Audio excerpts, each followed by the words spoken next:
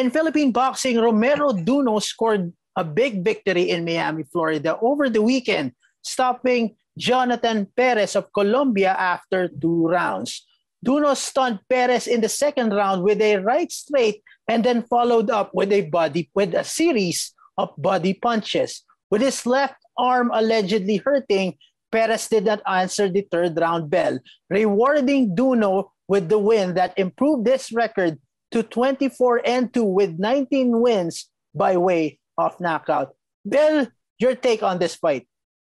I think it was really an impressive uh, win for Duno. And I'm so happy that our own uh, Ryan Songalia was yeah. there and actually captured the, the fight on video. Uh, these are the moments when you when you see the, the, all the hard work paying off.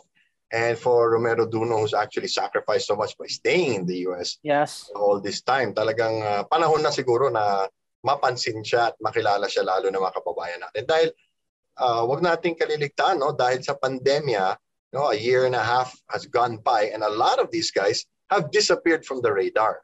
Mm-hmm. And we've never heard from them. In, you know, in the Olympics, we knew that a lot of our athletes were training abroad. But in boxing, since they don't really represent the country, you don't know. Somebody just disappears from the newspapers and you don't know what's going on next. But in this case, Duno made an emphatic uh, return to the ring, and I'm very glad that we were there to catch it.